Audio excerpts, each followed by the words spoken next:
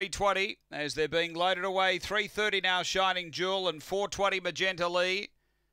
Last few moving in. Light on. We're set to go. This is race four. Ready at Angle Park.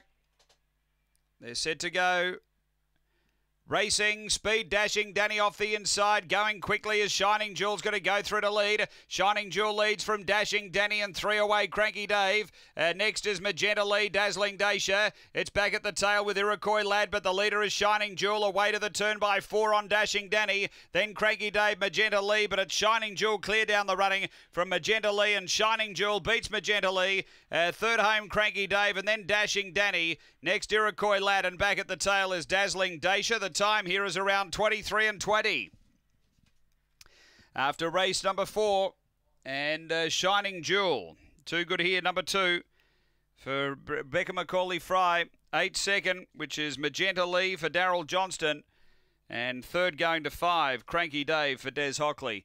It's 285, one fourth.